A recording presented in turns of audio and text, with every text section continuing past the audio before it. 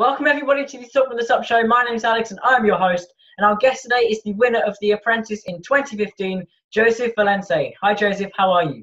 Hi Alex, how are you doing? Very looking forward to your interview. Thanks, I'm doing great. All the better for speaking to you. So Joseph, you are very successful. I mean, winning The Apprentice in 2015 and you had your business ImpraGas that you sold for 2 million pounds. So I would like to know if you made any mistakes on the way to becoming successful, and if so, what would you do differently now?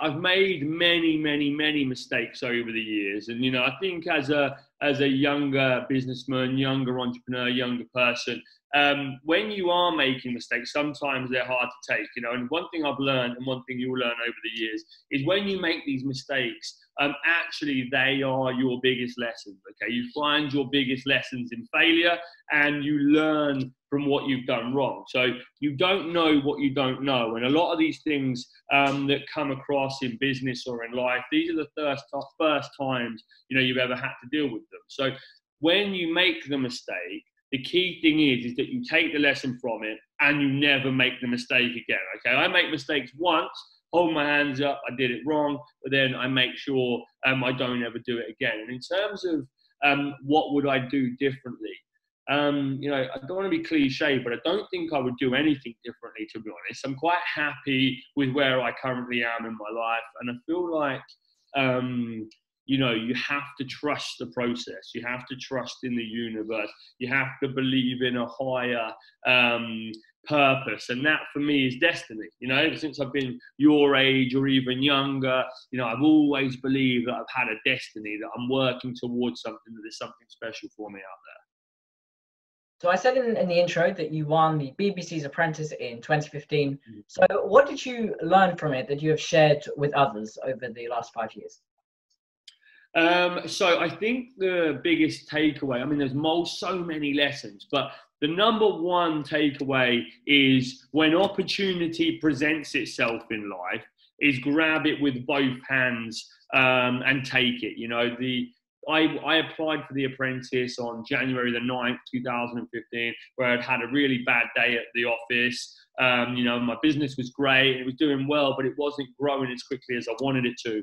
So um, I got my phone out, Lord Sugar's page came up and it said last call for the apprentice. You know, and if I hadn't put my details in that application page then and there, um, my whole life right now would be completely different. And I don't know what it would have looked like, but the opportunity presents itself and you must take it. I think working with Lord Sugar, um, you know, was something that, you know, I could never have ever um, imagine, I never ever imagined I was going to do. So I kind of imagined it. That's why I did it. But the lessons and the takeaways I got from having a billionaire business partner at the age of 25, after only being in business for three years, were absolutely incredible. So for those of my viewers and the live streamers right now who are watching, if you if they didn't know that winning the apprentice is when the billionaire Lord Sugar hires you to work with him so, what, in your opinion, was the reason that he made you, uh, he hired you over everyone else?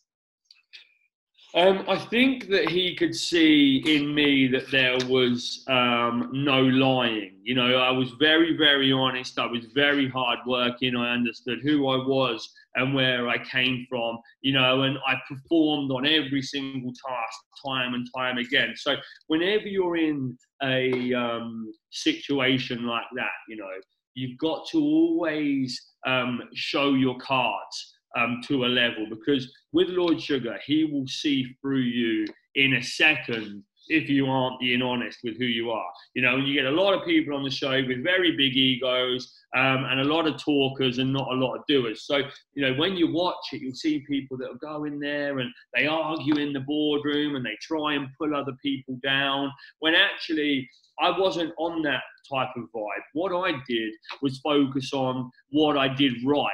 Okay, so every time I went into the boardroom, I'd say I wouldn't care about anybody else. It was all noise to me. They could argue till the cows come home and do what they wanted to do, but all I wanted to do was make sure I did my best on the task and then if he came to me and I had to justify my position, I would say, well, you know what, I did this, or I sold this much, or I set up that meeting. I'm not bothered what Claire, Dave, Richard, or anybody else did. Winners focus on winning. and losers focus on winners. So always focus on what you are doing. Keep and stay in your own lane and don't get distracted by um, anybody else out there in the marketplace. So on LinkedIn, I read your tagline and it says that whatever the mind can conceive and believe, the mind can achieve. And mm. so I'm 13 and I have no business ex- experience whatsoever yet, yet. So um, can you explain to me what you mean by, by that phrase? Excellent, great question. So, whatever the mind can conceive and believe, the mind can achieve. Um, that statement is taken, or that phrase is taken from a guy called Napoleon Hill. Okay, and he was a guy that was assigned a task to write a book um, and he was given introductions from a guy called Andrew Carnegie, which in 1900s was one of the richest men um, in the world and in America. He introduced him to Thomas Edison, um, presidents, um, Henry Ford, and he went around all of these billionaires and he wrote down what their characteristics were, um, what skill sets they'd have, how they acted, and so on. And he built this book called Think and Grow Rich. Have you heard of it? Uh, no, not really, actually. Okay, good. So what I want you to do is go and find Think and Grow Rich.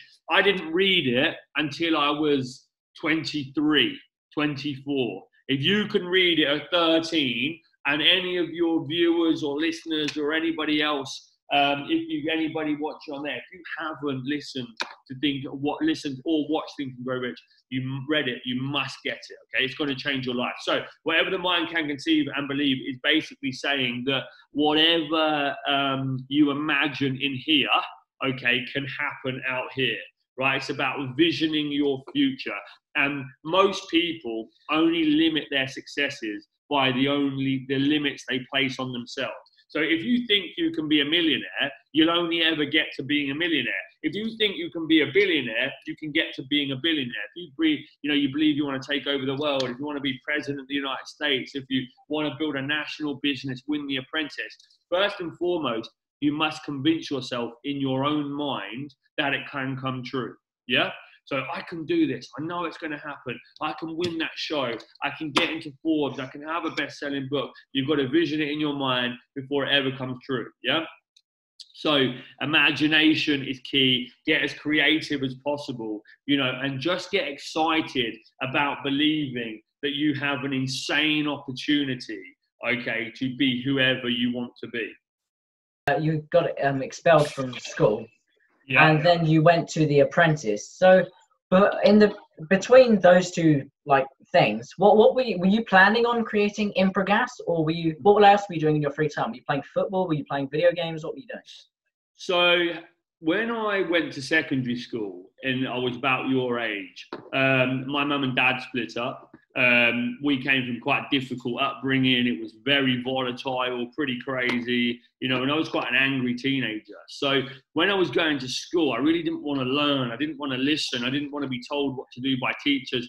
I thought I know all of the answers. And I, I used to bunk off and go and hang around down the park with my friends and yeah, play football in the park when I should have been at school. But um, you know, it was a very, very challenging time for me. And then when I hit 15, I got expelled from school. And that was because I was constantly disrupting class and so on. It was because I really didn't want to be there.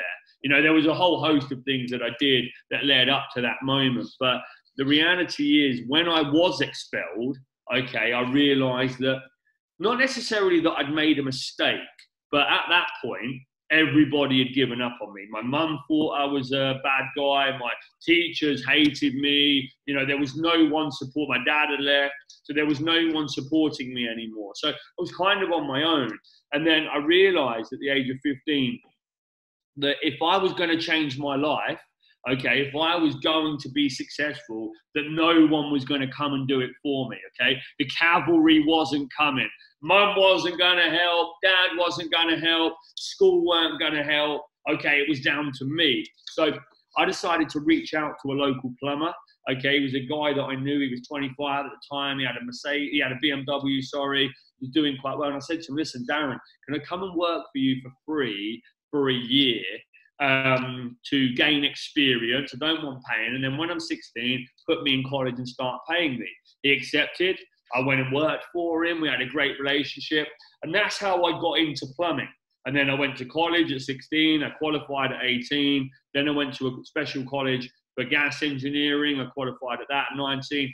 And then by the time I'd hit 22, I'd realised that I was done with working for somebody. Okay, I wanted to go out um, and doing my own thing. I didn't like what my companies were about. They weren't teaching me what I wanted to know. They were very small local businesses with no ambitions or dreams. So then I thought, right. And actually, it was because of this, you know. And if you know my story, you'll know that I read this book at 22, and this is the, the exact one that inspired me that much to go online, take a 15,000 pound loan out, quit my job, and then start a business, which was ImpraGas. What would you say was your most embarrassing childhood memory? One that your parents know about, and one that your parents don't know about. my most embarrassing um, childhood memory. Um, at my uncle's wedding, I was about five years of age. Um, I came down with a sickness bug.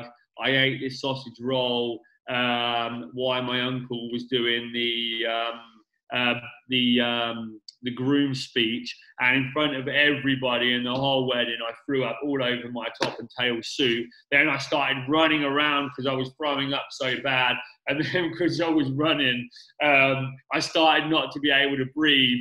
And literally, you know, my uncle's quite a wealthy guy, and we were all in um, um, uh, tuxedos and tails and top hat, top hat and tail suits. So um, you know, people just weren't happy while they were all eating their dinner. So that was pretty embarrassing.